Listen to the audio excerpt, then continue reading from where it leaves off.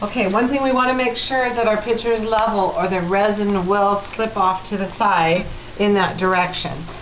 Very easy to solve. Just take some paper. We'll see now that the zero, the, the bubble is not exactly in the middle. So I lift up the side to see which direction am I needing to go. And then I'll put paper underneath the cups until it's level.